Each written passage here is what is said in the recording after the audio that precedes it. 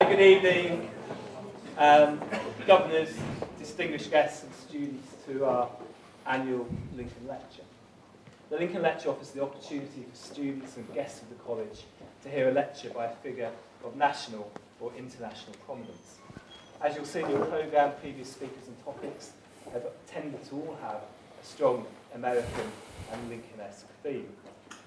This year we've chosen to move away from America um, and to focus on the fascinating culture and country that is China. Though Professor Sterckx has, I think, accepted the challenge to have a nod to Lincoln uh, somewhere during the course of the evening. Um, and I'm delighted that Professor Sterckx has accepted our invitation to join us here this evening.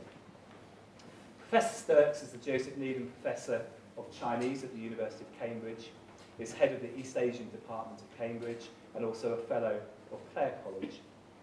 I first met Professor Sterckx in the days when he was a mister and I was a newly qualified teacher.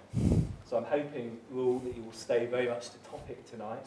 Um, politics will past uh, in Cambridge 20 or so years ago.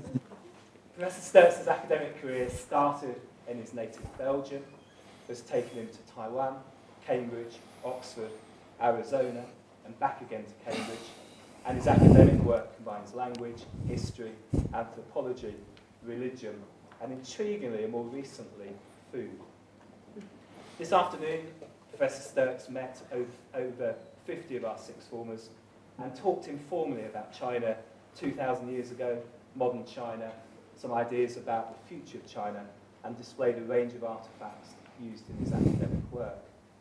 And questions from our sixth formers broached politics, history, language, society, religion, and international relations, and provided a tantalising taster for what I'm sure will be a thoroughly fascinating lecture this evening. So, could I please extend a very warm welcome to Professor Sterckx as he explores the world according to Confucius in China and beyond.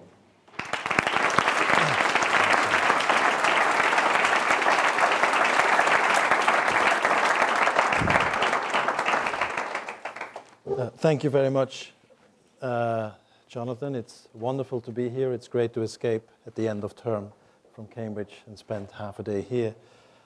Um, and it's wonderful to see uh, that you've had a stellar career all the way up to this wonderful college. And for the governors amongst you, I think you've made an excellent appointment. I paid him to say that. I thought for a while about how I would link Lincoln to the person I really want to talk about today, that is Confucius. Both of these figures had views about society that were quite bold, that were quite revolutionary. They are both figures who lived in totally different times and in different uh, parts of the world. and I could not find an artifact, a piece of text, or anything else that would link the two until I stumbled on the artwork of this particular Chinese artist in California who did a representation of the head of Lincoln and one of Confucius and does it over several phases so that the face changes into three Chinese characters. Tian Xia He, Tian Xia He which translates in English something like peace or harmony under heaven. In other words, this is the Chinese translation of an ideal that is branded around in China today quite a bit, namely the harmonious society, which is sometimes linked with a new theme the Chinese government uses, uh, uses that is the China dream, which is unlike the American dream. It's a dream of a different kind. But what struck me is that this ideal of harmony as the ultimate aim of politics, which we deem to be very universal, is one that was developed in China at a very early stage, in the 6th and 5th centuries BC. And it had inspired a philosophy that we associate with one particular figure whom you have here, namely Confucius.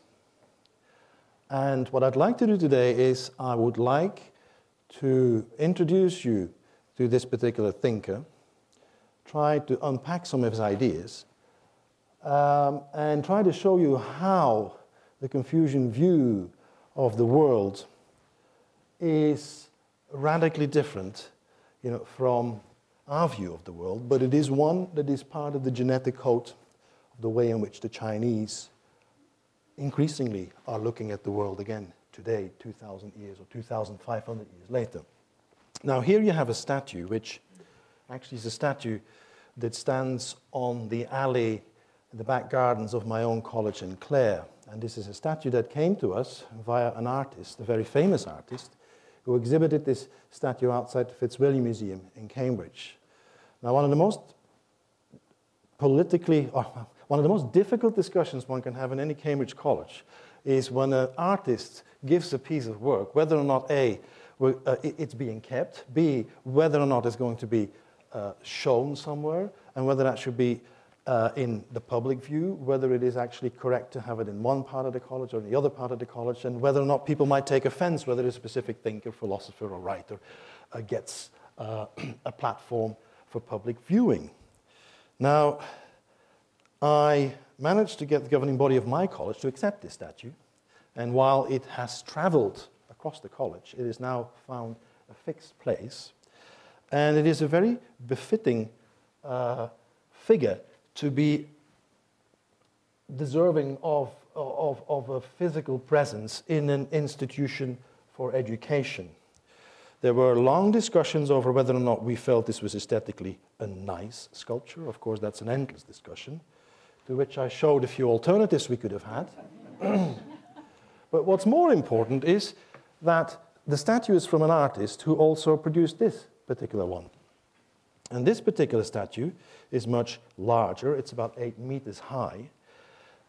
And uh, his, the older brother of Confucius, of the Cambridge Confucius, if you like, this statue stood briefly for 28 days in 2011 in front of the National History Museum in Beijing, where Confucius was gazing Mao Zedong in the eyes across Tiananmen Square. When it was unveiled, it prompted a flurry of commentary at the time, and all the commentary was basically debating the rehabilitation of Chinese traditional culture and political Confucianism, with a C, that is. Now, the statue was then moved after 28 days to a relatively obscure position in a courtyard sculpture garden at the back of the museum. And government officials claimed, well, that had always been the plan. The plan had always been to have it temporarily out there, which means that there probably was a factional struggle about having the figure of Confucius and Mao Zedong around Tiananmen Square, and that obviously competition with Mao proved as yet too challenging uh, for the uh, people in charge. But what's really, really important is not so much the fate of this statue, but it is the fact that together with this particular statue, we see at the moment in China a concerted revival movement in which the Confucius figure and Confucian philosophy is being used both as a vehicle to encourage uh, people to go back to Chinese roots of civilization and to export soft power in a way to the world outside of China. And the best example of this is, or a good example of this, is the establishment of institutes known as Confucius Institutes, which you'll have uh, quite a few of them here in the UK. They're paired sometimes with universities. And they are institutes funded by the Chinese government that have a function. They do outreach, they teach uh, basic Chinese language, they teach or they introduce people to Chinese culture, but they're entirely funded by the Chinese government. And they are, in a sense, one could argue, in the same way as the British Council or the Alliance Francaise or the Goethe Institutes, they are, in a way, also um, tools of soft power. But this is one way in which Confucius is coming to the streets uh, of many of our cities. What's happening across China is also that you see increasingly a new middle class that is encouraging its children to take classes in which they study the ancient Confucian classics in the same way as that traditionally has been done for over 2,000 years until roughly in the beginning of the 20th century. Students and children dress up in traditional uniform, in the traditional sort of uh, dress code of Chinese literati. Here at the back, you have a newly built Confucian temple in which you have statues of the uh, Confucius figure and the Confucian disciples, and parents come and pray or pay homage to Confucius, and they write the names of their children on these amulets, which they tie around the fence or near the Confucius uh, temple gate. And these are good luck charms for, well, that, that hope for children to be uh, good in their education. If your child needs to get into a good school, this is what you do. If you want to have good exam results, you do uh, invoke the power of Confucius. Another manifestation of how Confucius has become a global export is that there are now almost Oprah Winfrey style TV stars and media professors who have made it their business to talk to the masses and explain Confucian philosophy in, one might argue, a rather simplified way, but it all has its function, of course. And the lady you see here is uh, one of the best selling, or was one of the best selling authors up to three years ago. She wrote a, uh, a book which, from the Chinese, translates, well, here it's, it's translated here into English as Confucius from the Heart. That is a very genuine translation of the title. It obviously has had all sorts of reviews, as you can see here in this one uh, from John Grays in The Guardian, who is perhaps not as, uh, not as impressed by the way in which Confucian ideas are being uh, presented in the book. Uh, there are scholars who have referred to this particular text as Confucianism for Dummies. All of that basically just to show you that really uh, the ideas of Confucius and the popularizing of Confucian philosophy are something that is an, in, are an interesting phenomenon to witness um, in present day China and indeed increasingly also beyond. A whole generation of adults, some of whom might have missed out on education in the 60s and the 70s, the days of the Cultural Revolution, are now retooling and reschooling, even as part of their uh, job description in the company, in uh, Confucian studies classes. These are classes that are offered often at a high fee, and it is difficult to understand why it is that people uh, gather to study the Confucian classics back in a traditional way. Is this to show that one can. In other words, is this part of the cultural capital that you have as a new middle class, that you take these types of classes?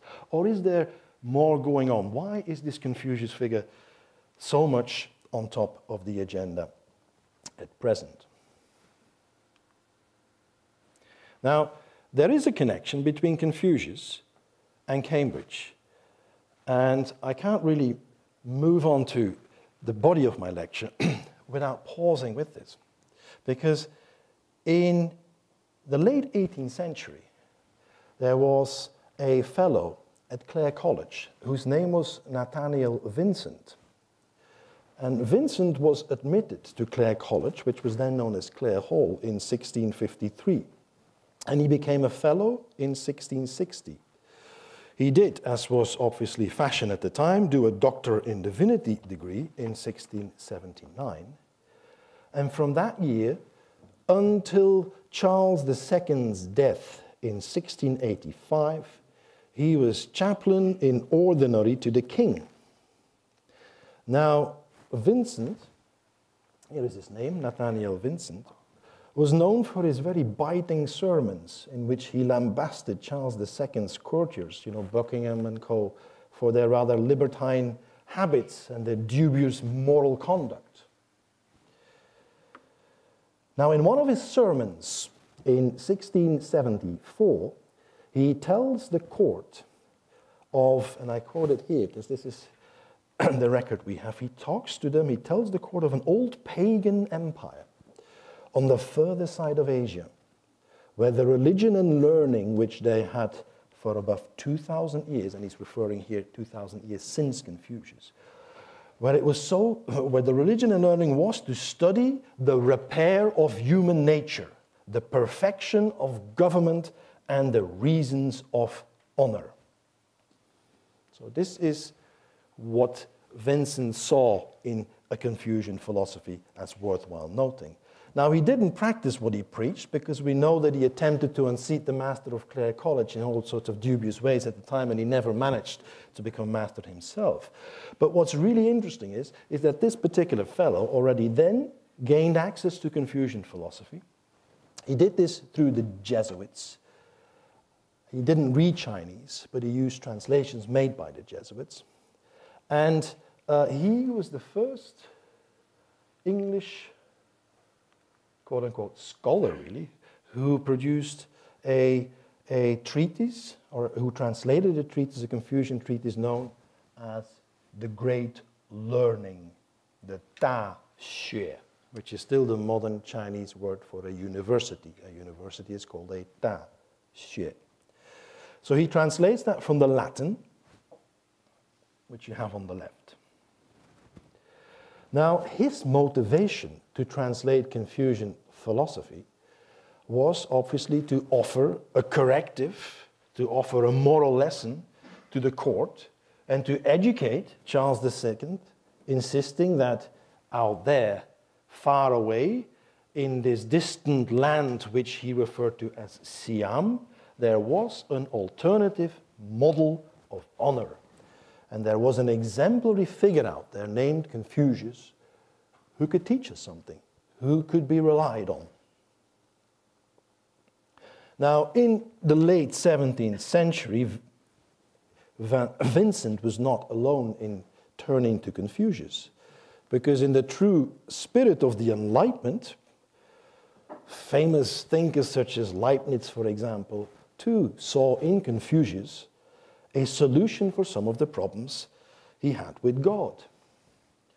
The Enlightenment philosophers, and I summarize this in what is obviously a, a, a rather simplified way in, in, in, in, what is a complex argument at the time, but at, at, what they were arguing is that out there in China, there seems to be a society that was not run by the punishing eye of some kind of transcendent God who was looking out over us, but actually that out there there was a philosophy that was a sort of a humanism, a humanism that didn't require a God or a transcendent figure that needed to look out over uh, what ordinary mortals did in their lives. The Chinese, it was claimed, avoided explaining the world through metaphysical categories, through very complex philosophical ideas.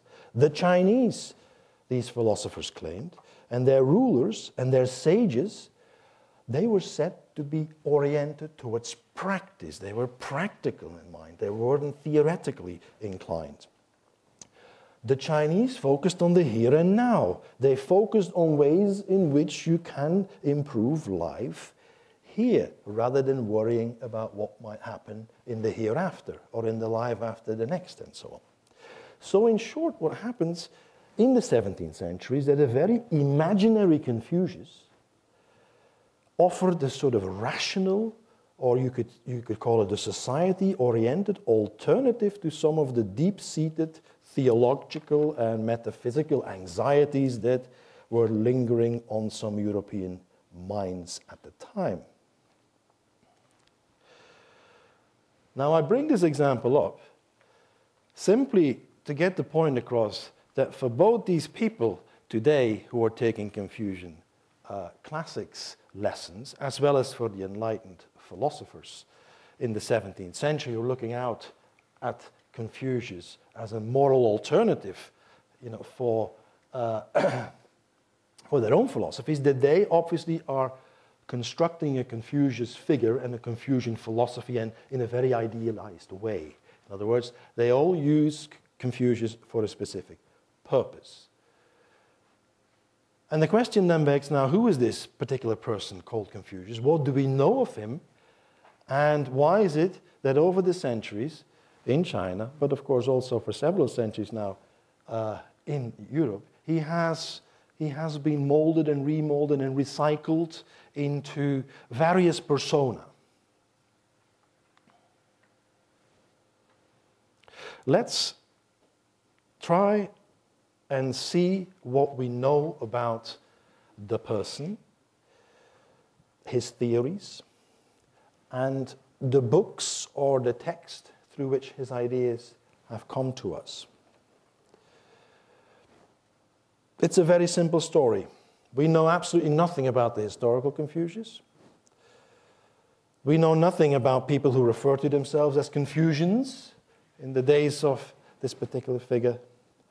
And the one book that we know, or that is associated with him as being the quote unquote Bible of Confucian philosophy, is a highly dubious text in the sense that we are almost certain that he, the text doesn't date from the time in which a historical Confucius lives.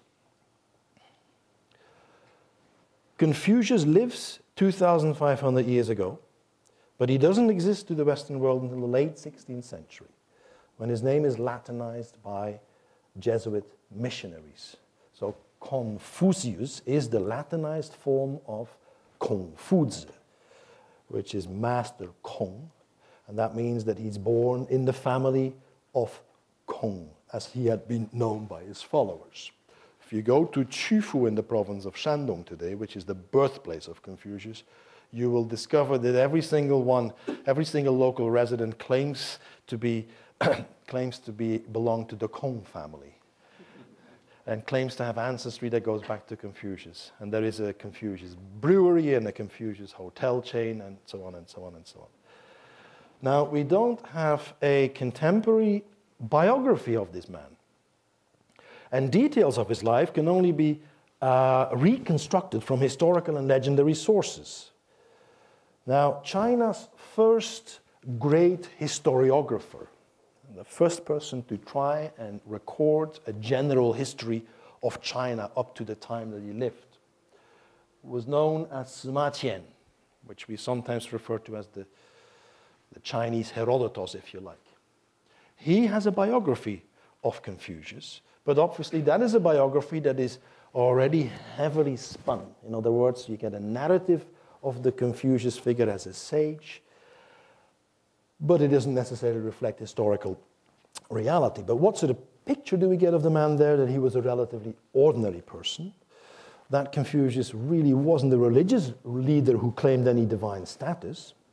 We know that he was born somewhere around 551 BC, and we know that he was born in a small little town which is located in uh, what is nowadays Shandong province, and which was then known as the little state of Lu. We know that he was a member of the lower aristocracy, and we know that his family had fallen into a pretty impoverished economic and social uh, kind of situation or status by the time he was born. We are told in that biography that he was educated by his mother and that he lost his father at the very young age, and that for the largest part of his life, he remained a private person before he changed tack and devoted the rest of his days to a vocation in public service. We know he had a son who died before him and a daughter, and that is pretty much the only thing we know about the life of uh, Confucius. Unlike many of his contemporaries, Confucius did not take an interest in a military career, and that is quite interesting, given that this is a period in Chinese history in which warfare and aspiring to a military career was what every male uh, member of, uh, of, the, of the lower and middle elites would aspire to. He devotes himself, as he says, to studying the culture of the past. He obtains a following of disciples, about 3,000 of them, they all have different characters. Um, we don't know. Uh, we, there's, there's a set of about 12 or 14 we know quite a bit about. Um, figures are usually inflated, but we have murals here from tombs from the Han Dynasty in which Confucius is depicted with some of his disciples.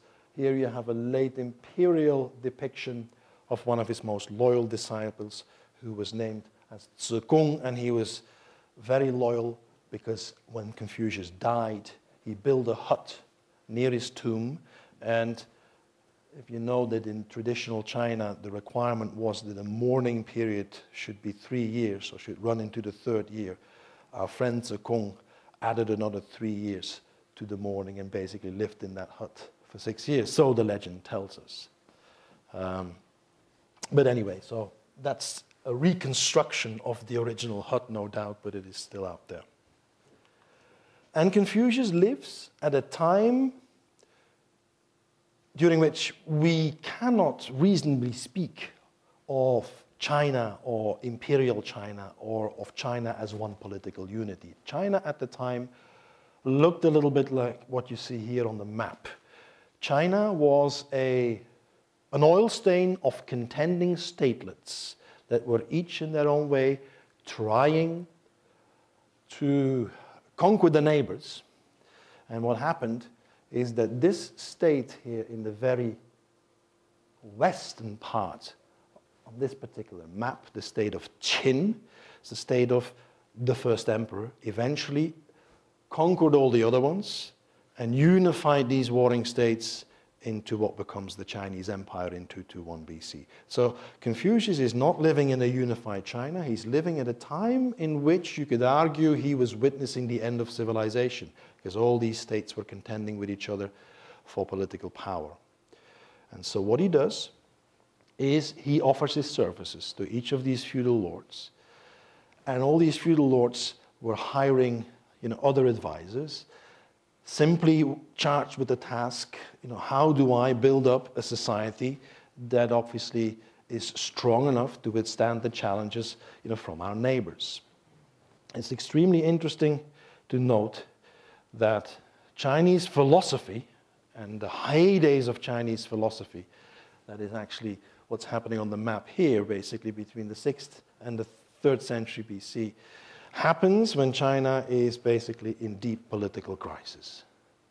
And, you know, as I've said to some of the students this afternoon, philosophers tend to be most creative with their ideas when there are social crises happening. You know, when everything's going well, very few philosophers, or at least political philosophers, feel engaged, you know, to, to, to deal with the debate. But what's interesting is that the fact that Confucius and the partners he was arguing with uh, were actually operating during a very turbulent period. The result of that is that Chinese philosophy, from its beginning, was very much oriented on political issues and on social issues. The question was not what would happen to us in the afterlife. The question is simply how does a ruler organize society in the best way? And what is your role as an individual as part of this larger unit called uh, society.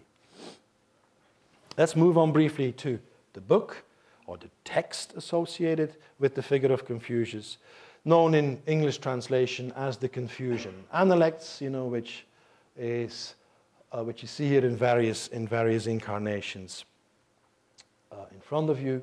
Again, this is a text. I mean, if you translate the Chinese title of the text, it would read something as "Selected Sayings." Or excerpts from uh, the sayings of Confucius. They are not dated to the lifetime of Confucius. They were probably written to get written down over the four centuries following his life by disciples. It's a text which is very much written in a dialogue form, in which a disciple asks a question to Confucius, who's always referred to as the master, and the master then replies. So it's the master disciple dialogue through which his ideas uh, have come forward. So these are simply just some details of the text in question.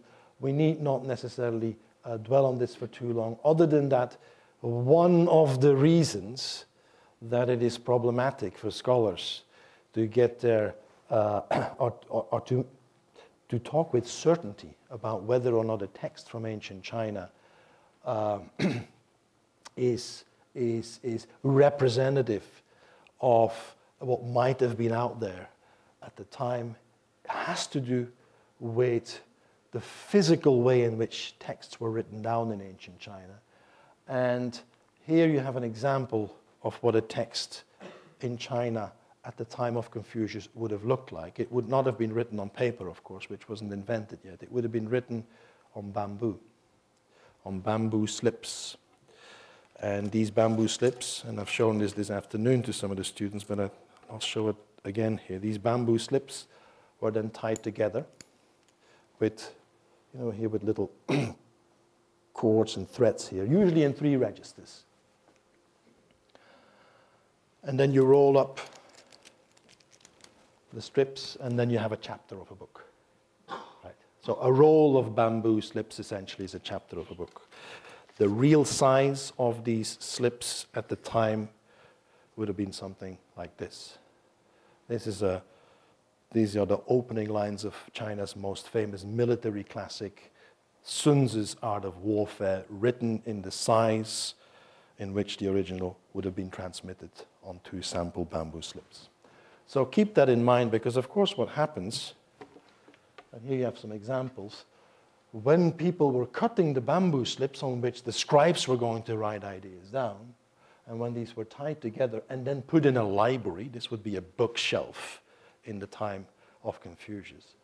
What happens, of course, is that over time, when these texts are, end up in tombs or when they are transporting from one place to another, the uh, obviously the threads that keep them together disintegrate, and all these bamboo slips fall apart.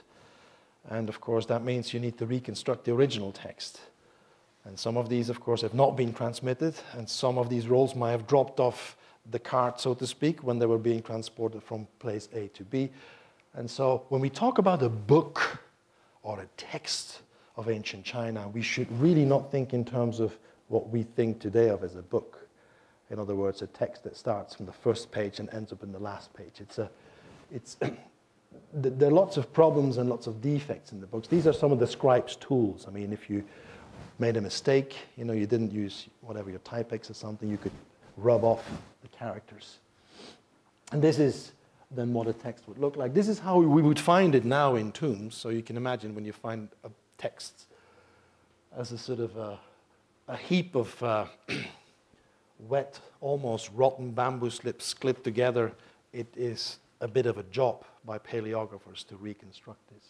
And this is, uh, well, a famous actor, a famous Hong Kong actor who was playing the role of Confucius in a, I was going to say a blockbuster, but it wasn't quite a blockbuster movie about Confucius some years ago. And I like this shot because here is Confucius sitting in his library and watch the color code on his books. You know, I don't know how he divides. Well, you know, what's geography, what's travel, what's cookery, and so on. But anyway, so keep in mind that when we talk about texts and books at the time, you know, this is something uh, that is not the same as you know what we imagine texts and books to be today. The only way really to have a stable text in the Chinese character script, the only way to ensure that a certain version of a text gets transmitted is obviously to invest energy and carve it into a rock or a stone. And that is what eventually happened. With all the Confucian classics, they were carved in stone, and then, of course, you could make rubbings off the stone by putting rice paper on it in later times, and then making a negative imprint. And that's how you could copy texts and circulate them in the pre uh, area. Now, what we read then when we read the Confucian Analects, we are reading a text of authorship of which is highly in doubt. And you could argue that it's possible to read the ideas of Confucius as they appear in the Analects without really wondering who the historical Confucius was, and without, uh, without worrying too much about whether the ideas can be linked to specific events at the time. And I think that's probably the best way to look at the philosophy of Confucius. What I'd like to do is take you through a few of the core ideas of Confucius, and then as we go through them, link them to ways in which they have been translated through the ages and in the contemporary world. And I hope to show, perhaps not necessarily convince you, that some of these ideas are extremely interesting and offer extremely interesting potential if they are being applied to the modern world and to what we expect society and relationships between individuals and between countries uh, to consist of. I'm going to talk a little bit about teaching and learning, which is very appropriate in the settings here, because Confucius, after all, is the master of education, and he was referred to as uh, the patron of all teachers. I shall say a little bit about the idea that the past is something that should inspire the present, and that people who make decisions today always ought to test their ideas against what happened in the past. I'm going to say a little bit about his this worldliness, the idea that he doesn't really talk a little uh, talk too much about the spirit world. Most importantly, we're going to say a little bit then about the ideal of the gentleman, the ideal Confucian person. What should an ideal Confucian person be like? How should he behave? And if you were somebody in charge of society, either in his day or perhaps even today, uh, what are the sort of characteristics that a Confucian ruler should cultivate? And then finally, we say a little bit about government itself. Now, he was a teacher, and I suppose he has been known in Chinese civilization as the person whose ideas, in the form of the Chinese classics, had to be studied by every single person who had ambitions to become a civil servant. The civil service exams in imperial China were conducted usually in the capital, and the system, or the way in which you became a, per, a person of importance in traditional China was by becoming a civil servant. And the closer you got to the capital, it's a bit like the closer you get to Whitehall, the more important the position, and so on and so on. So we have a great deal of documentation about how Confucian ideas had to be studied as part of an exam culture. This is a reconstruction of what an examination hall, you know, in Ming periods would have, would have been like. I don't know how you guys do your exams here in college, but I hope you get a bit more leg room than examination candidates got in traditional China. Right. This is another drawing of this. I really love this piece of evidence. Um, obviously, not to be followed. This is a shirt that an examination candidate uh, would have worn, but this one wasn't one who was taking his job very seriously because he's obviously copied bits of the Confucian classics on the shirt and he wanted to obviously cheat during the exam. So here we have a representation actually of the stress that people would have been under to pass the civil, civil service exams. Uh, I love this one. This is a candidate who is obviously not interested in doing his exam. I mean, you would be locked in for days on end to take the exam. He's fallen asleep, or what does it say? He's, he's drank too much. And look what happened then here in the text balloon, or in the clouds, or in his dream. His ancestor appears and taps him on the shoulder and says, Well, hello, son, you're not doing this exam for you, you're doing it for the family. You're doing it actually for the, for the extended clan. And this is the duty I mean, even if you don't believe in what you're doing, you have to do it for the honor of the family because obviously every male uh, person who is educated should aspire to become a civil servant. So, education, education, education, no names mentioned, but that would really have been the philosophy of Confucius at the time. He's known as the first and supreme teacher, and today, still on September the 28th, he is celebrated, or September the 28th, actually, still Teachers' Day. It's uh, the National Day for Teachers. You see, he's being, I suppose, during graduation ceremonies now in schools in certain parts of China, you find students dressing up in the same uniforms as traditional examination candidates would have had to celebrate you know, their graduation. Look how wonderful they all look. Now, teaching and learning, but what sort of teaching and what sort of learning does Confucius stand for? The first thing to say is that Confucius was somebody who believed that everybody, regardless of their social background, was able to be educated. So, in that sense, He had the view that you could cultivate somebody's character regardless of uh, the baggage or the advantages that you've had from the past. He states that he doesn't mind taking remuneration for teaching, but he would adapt his fee according to what the student was able to, uh, was able to, to, to, pay. He has a rather optimistic view uh, about human nature, in the sense that he thinks that human nature, regardless of individual circumstances, can be, you know, can be cultivated and that every single person can be turned into a gentleman or a Confucian moral exemplar.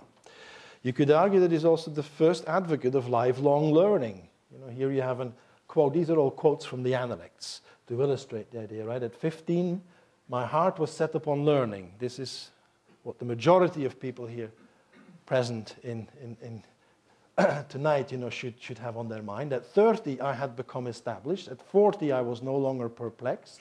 At 50, I knew the mandate of heaven, which is a Chinese way of saying I knew what life was all about. At 60, I obeyed. Well, that's late for some, perhaps. And at 70, I could follow my heart's desires. So that what he's trying to say is, well, life is lifelong learning. And basically, at every stage in your career, you can do this. But what is really interesting is that what he understands by learning, by studying, the opening lines of the Confucian Analects start with a line that says, Is it not delightful to study and then at appropriate times practice, in other words, put into practice what you have learned? And for those amongst you who are interested in the Chinese language, the modern Chinese word for studying consists of two characters, xue, xi, they're two different words, if you like. And these are the two different characters you have in the opening lines of the Confucian Analects. And the first character, xue, means something like studying.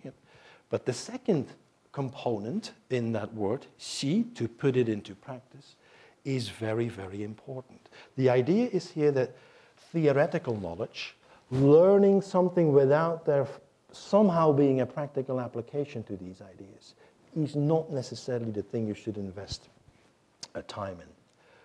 So the idea is that the good student is somebody who learns from his master, tries to emulate his master, but tries to put into practice what he preaches. Practically orientated learning.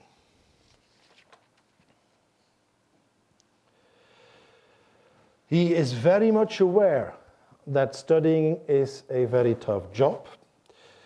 And that actually it takes real courage to do it and to see it through. And for those amongst you who go to university or move on after your experience here, Confucius would recognize that this is you know, a difficult but very challenging journey.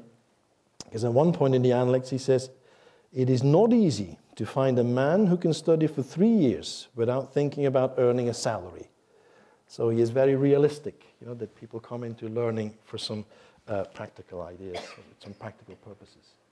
Now, here we have Lincoln, and I pulled this one up from one of his first political announcements, and what he is essentially saying is education, education, education. And what I would like to encourage is a universal application, universal opportunity for learning, learning, learning, learning.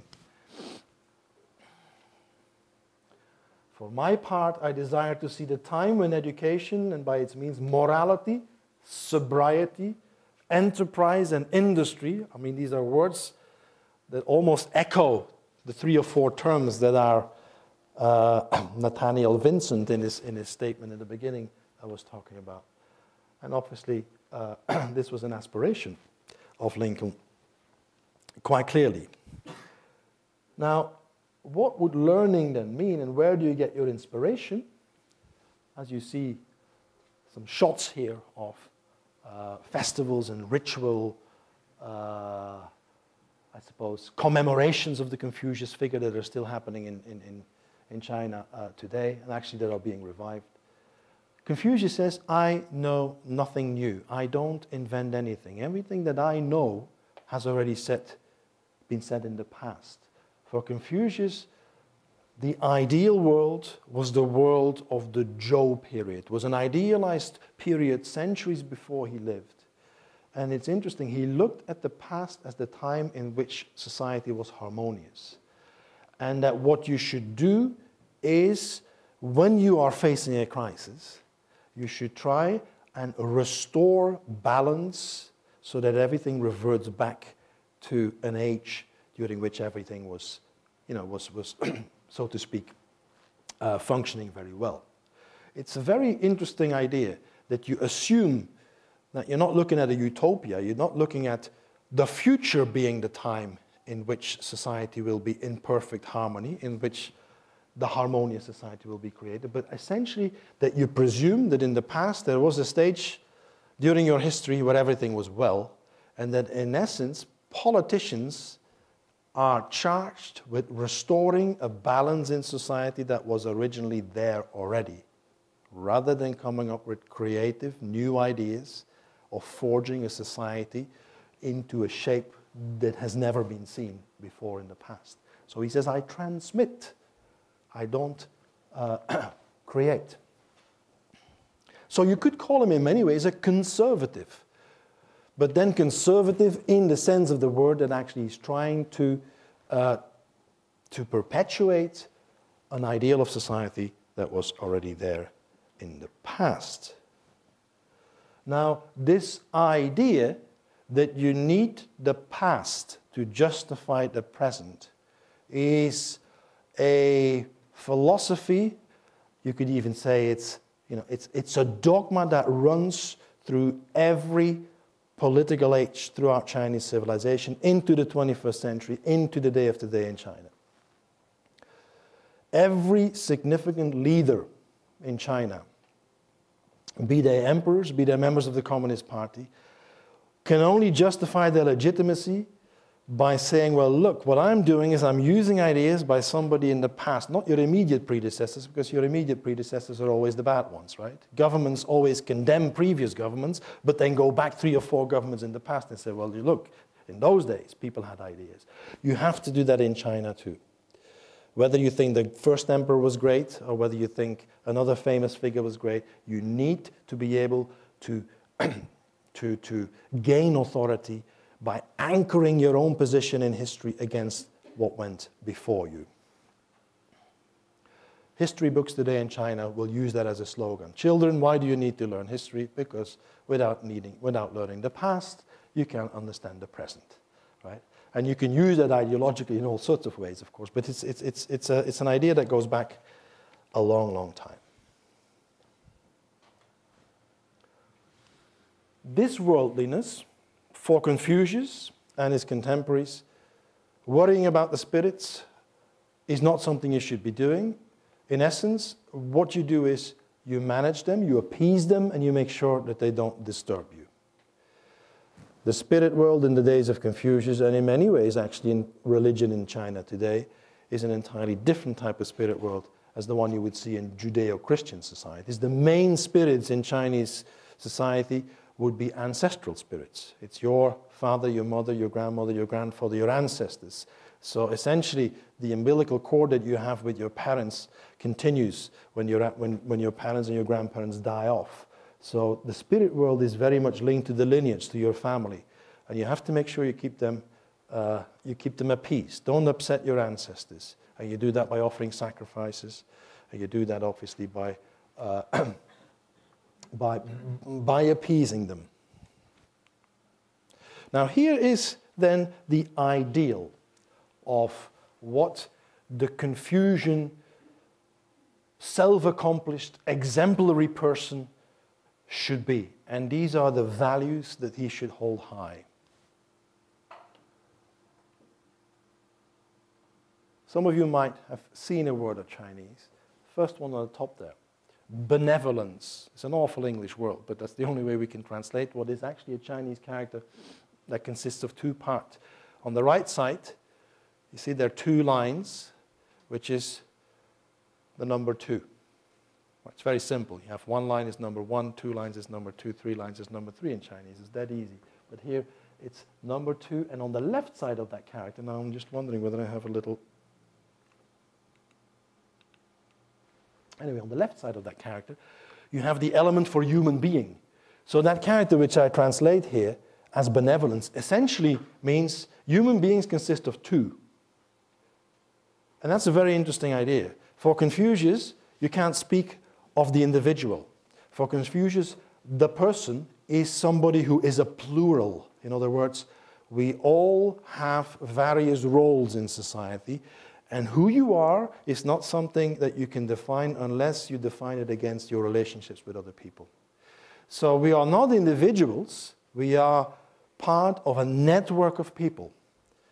And it is essential that the relationships between people are very clearly defined. And we'll see a little bit about that in a minute.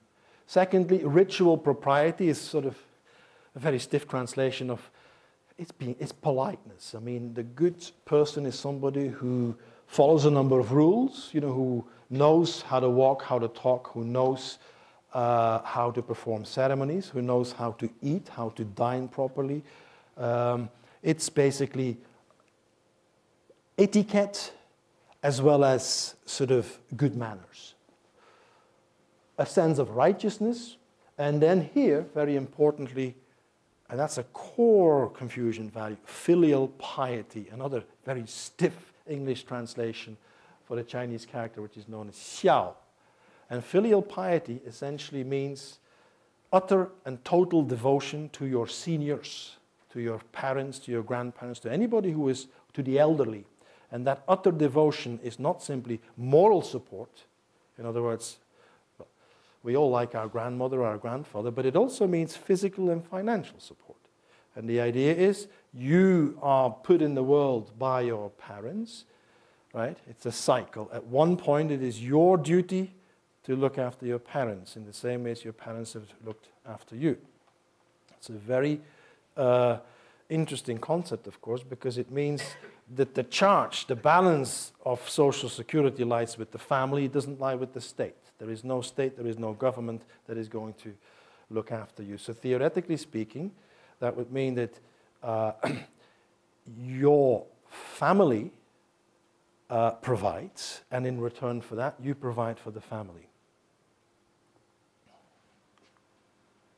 The most important relationships for Confucius then are those between a ruler and a subject, a father and a son, brothers, a husband and a wife, and a friend and a friend. And the way now to make sure that that network of people works properly is to ensure that every one of us knows exactly in what role we're cast in any point in our lives. Let rulers be rulers, ministers be ministers, fathers be fathers, and sons be sons. Essentially, what Confucius is saying, we're all role playing constantly. All of us are role playing, right? I'm a father, but I'm also a son, right? I might be the teacher here, you might be the disciple here. You know, when I go home tonight and I talk to my wife, if I stand up to my wife and I teach to her, it's not going to work because I would be adopting the wrong role play, right? So all of you have multiple social roles, right? You might be the mayor, you might be, uh, you, you, you, might, you might be a, a servant, you might be a, a disciple, you might be, and these roles are changing all the time? And now the knack, the most important thing for Confucius or for Confucian philosophy is to know where your role in society is and to stick to that one and to not fall out of your role, so to speak. So, in essence, what he's saying was well, hierarchy is a good thing. And so, if you've got a ruler, you need to respect the ruler because he is a ruler. And it is your duty then, as a, as a minister or as a servant, you know, to respect uh, the ruler. In the same way as when you are a son, you should behave like a son towards your father. Whether you're four years of age or whether you're 45 years of age, that doesn't make a difference. So the person is defined by a set of social roles rather than an individual with its own rights, privileges, aspirations, and so on. Importantly, if you see how this works in terms of ideas, for example, that have to do with justice, it's very interesting. I'm giving you a quote here, and this is the opening case which you have in probably the first chapter of many books in law schools across across China. Here is a conversation in which a specific lord Confucius was advising says, well, you know, in my town, right, in my precinct, there's a guy who's really, he's very upright. He's, there's a perfect, a perfect person in my town. When his father steals a sheep, the guy gives evidence against his father. Right? Now, Confucius then says, well, you know, where I live, it's slightly different. In my town, he says, fathers cover up for their sons, and sons cover up for their fathers, and that is justice. So you see what's happening here. Confucius says the most important guideline to follow is the obligation of you to respect the harmony within the family. And even if that means covering up misdemeanors by somebody in your family against the wider remit of the law or of society at large, then that is in certain circumstances justified. So the message this sends out if we as individuals are part of a social network, then our families are units that are the first and most important ones. And a society essentially is built up of building blocks that are essentially families. Right? The modern Chinese word for a country still today is guo jia. Guo is a country, and jia, you know, which writes, it's a roof with a pig underneath, is a family. So, in essence, a state, a society, consists of a bunch of families together. And of course, the interests of the family, of the clan, they can be, they can, in a sense, be in tension with the interest of the public good. And so the history of China, in a way, you know, can sometimes be described as a history of a constant tension between interests of families, clans, lineages, and the state. So it's a different orientation towards the obligations of the state versus those of families. Now I'm coming to my international relations part of Confucius' philosophy. Somewhere in the Analects, he says, well, the E and the Di barbarians, and this is a, again, a very stiff translation because there is no word for barbarian, it's the E and the Di, these are two specific tribes.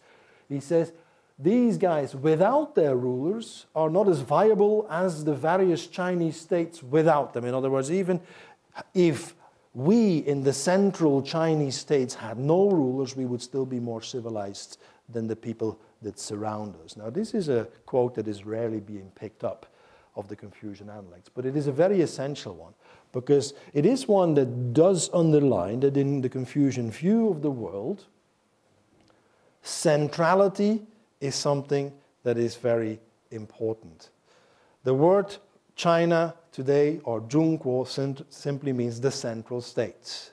It means, in a, in a sense, the heart of the world. In the time of Confucius, this is, you know, this is, this is a physical, a geographical map of China. And so China proper would be somewhere here. The heart of civilization would be viewed here in the basin of the Yellow River. And then the view of the world is one that the further you go away from the heart of civilization, the more barbarian it gets. And the further you go away from the Chinese heartland, the more you can identify human beings sometimes with animals or with people who behave differently. So there is an embedded sense of a kind of cultural superiority in some of these ideas. You may say, well, it's very odd that the Chinese, you know, should see themselves as the center of the world and the world around them as peripheral. Uh, in essence, all empires do that, right? If you buy a map of the world in China, China will be on the center of the map. If you buy a map here in London, you know, like you'll have Great Britain in the middle of the map.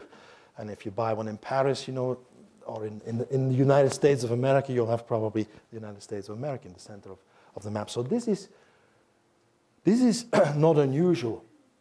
But what it has impacted on is that in its dealings with the world outside, China has always operated on the assumption that the world outside should come to the cultural heartland and that the cultural heartland shouldn't go out to the periphery and start to trade or make its case in uh, the world beyond China. You know, I, I if you look for an image actually of a view on power, I thought these ones would work in a way. On the right, anybody recognize the gentleman on the right here? right? Is, Napoleon on his horse. This is um, Kangxi Emperor, late 17th century, one of the longest ruling uh, emperors. Now, if you look at the representation of an emperor in traditional China, you'll never have him sitting on a horse showing off his muscles, about to conquer something. A Chinese ruler sits very silently, immobile, and he radiates a kind of power that is hidden, right? He sits there, and it is basically his inarticulate movements or his silence, you know, that gives him an aura of power. Chinese rulers live behind big walls, high walls. They're not visible. They don't go out on processions, and you don't certainly don't find a Chinese ruler standing here like Louis XIV. No, a Chinese ruler is like a Chinese landscape. He's hidden high away. And to be hidden is to be powerful because you're unpredictable and nobody knows where the source of authority comes from.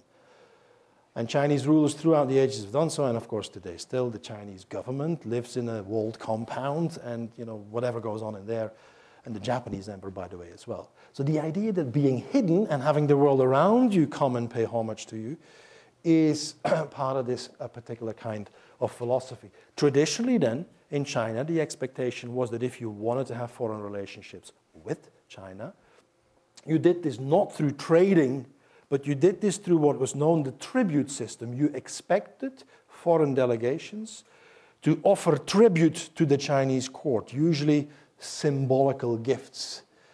You were given an audience and you were giving, obviously, returns by the Chinese emperor, but it was a very symbolical and ritual act. Foreign relationships in China were dealt with by what was known as the, the Ministry of Ritual, of Rites. So it was a, it was, it was a ritual kind of uh, submission, and of course, the most uh, symbolical, physical show of submission in international relations is you know, the famous, you know, the kowtow, right? Is when you when you bend down and you show your submission to the Chinese emperor. And when Lord Macartney, of course, in 1793, as the British envoy, didn't quite think that that was the right way to do it. And when he stood up, whereas he would have had to go on his on his knees, that caused that caused a bit of an incident, you know, to put it mildly. Today, this has changed. If you look at pictures, of course, of Chinese leaders, you know, it is quite important uh, to note that kind of being on the same level with your partner it seems to be, seems to be part in the way in which leaders represent themselves. Um, you see also that in diplomatic missions, the way the tables are arranged, the way seating plans are arranged, these are no longer, of course, relationships of, of submission. And of course, we move from a situation now, of course, in, in international relations where it is a British prime minister or an American president, you know, who, you know, who shows the way to a Chinese president. um, in, many ways, you know, we, have a, we have a reverse situation here. But in essence, the idea that the world outside China comes to China and that China goes to the world outside its own borders, not necessarily politically, but only through some trade, to trade and through goods and so on. That is deeply embedded you know, in the way in which China views relationships with the outside world today. China isn't conquering. China is claiming still certain parts to be, you know, to be, or certain bits of geography to be part of China. But there has never been an offensive type of war fought by the Chinese on another continent, so to speak. There is never, there have been expeditions since the 17th century, and some of them have reached the east coast of Africa and Mombasa, and a giraffe was brought back to the Chinese court. But these things were not done uh, out of a, an obsession of, of, of physical occupation or physical residence. It is all about what initially was symbolical power, and what that translates to today is in you know, relationships uh, that gave you access to you know, particular resources. So the Chinese ruler, and whether it's an emperor or whether it's actually the leader of the Communist Party, is still somebody who is seen as someone who is maintaining some kind of social harmony and acts on behalf of his subject. And for Confucius, this was formulated in this strange idea that actually common people can be made to follow a path but not to understand it. You know, this is a little bit of a, a, tricky idea. The idea that your rulers are by definition enlightened. Now that's problematic, of course, if you've got the wrong ones. And there are ideas, also in Confucian philosophy, that say, well, when your ruler loses his credit, the people somehow should unseat him. And so, for Confucius, and in the Confucian view of politics, a ruler is invested with what is called the mandate of heaven. And you can, you can compare the mandate of heaven with a credit card, right? It's charged, right? And you have to make sure you manage your budget properly. And as soon as you're running out of credit, somebody else can come in place and, and take over.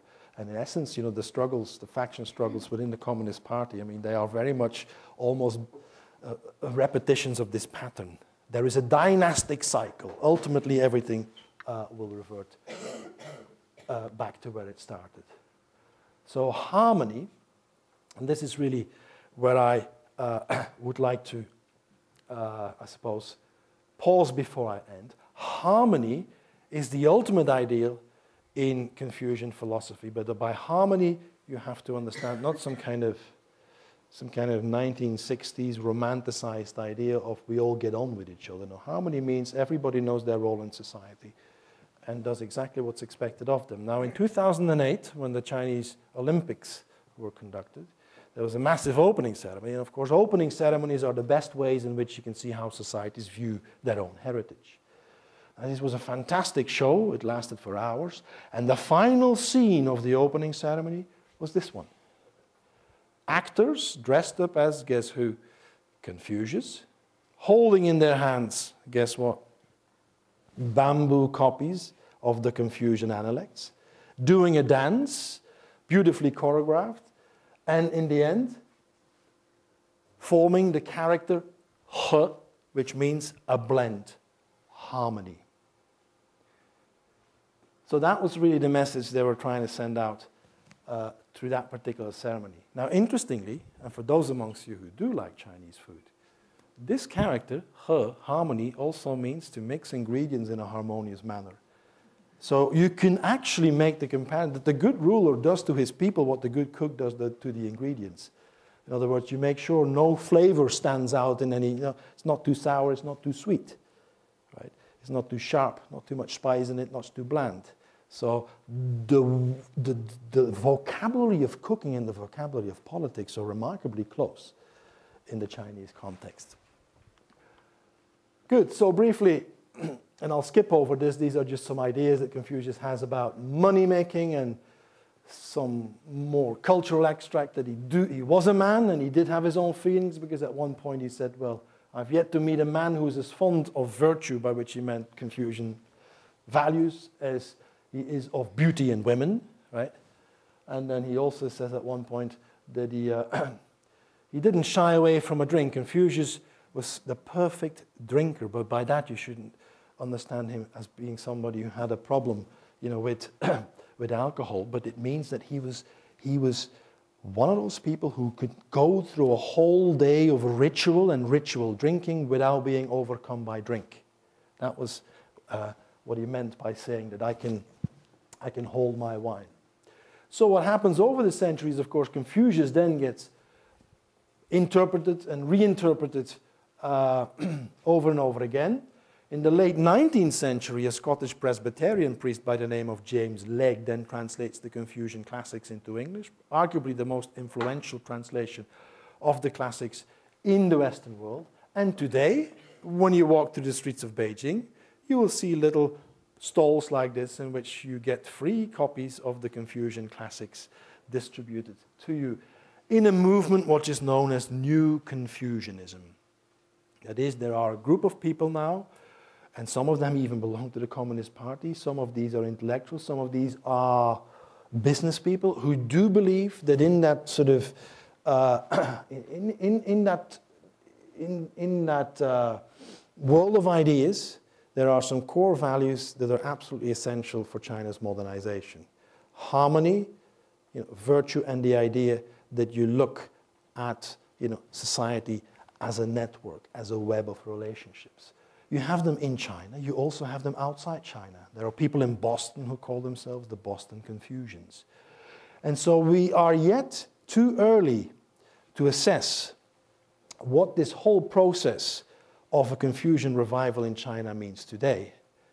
But we now have reached a stage in which children read it through, uh, you know, through, through manga or cartoon forms. And it is undoubtedly the case that in the next two or three decades, we were going to have to need to keep an eye on the ways in which these kind of philosophies are being translated and adapted you know, for a new narrative on what China should look internally and how it should behave um, to the world outside. There are journalists or people whom, in my trade, are sometimes referred to as China watchers, who make it their profession to predict where China will be in 10 years' time, in 20 years' time, in 100 years' time. When I started studying Chinese, that was the first question you got. Where do you think China is going to be in 20 years' time? Well, I don't think anybody knows. But what we do know, and what we do, I think, need to wake up to is in order to understand where it wants to be, it is high time that we delve into that genetic material that makes up, you know, the sort of the world of thought that this society has been uh, based on over 2,000 years. In essence, I don't see necessarily that much of a difference in the way between the way in which the Chinese government or the Communist Party packages ideas about authority and the way that was done in imperial China in the 19th century, or indeed the way that was done by the first emperor in the 3rd century BC. So, in many ways, these are modern ideas. And so I'll leave you with a slide of Confucius having a good look at the crest of this wonderful college. Thank you very much for your attention.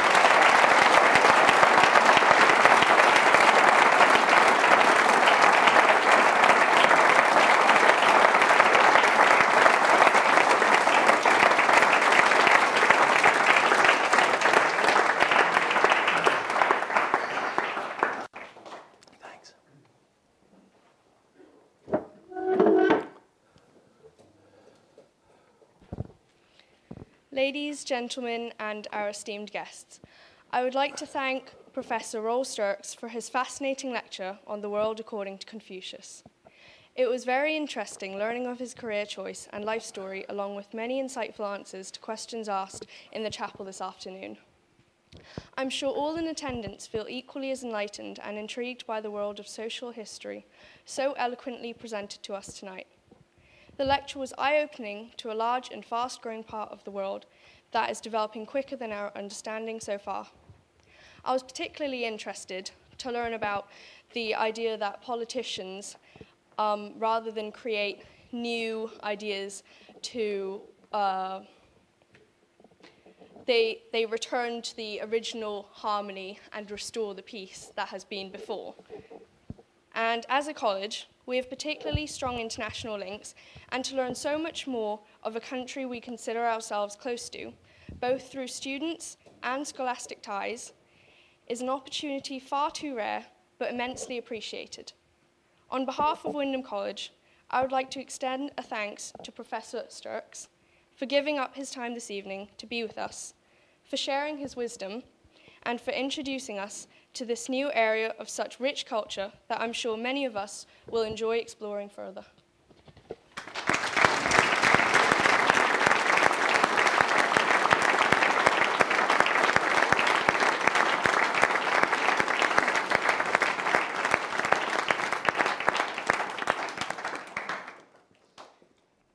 I'd now please like to, in, uh, to invite the guests um, to have a drink and some canapes and to meet Professor Sterckx informally. Thank you very much.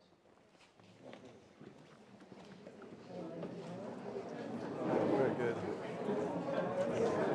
It was. It's great. Thank you. Did it make Great. sense? Oh, it was fantastic. Thanks.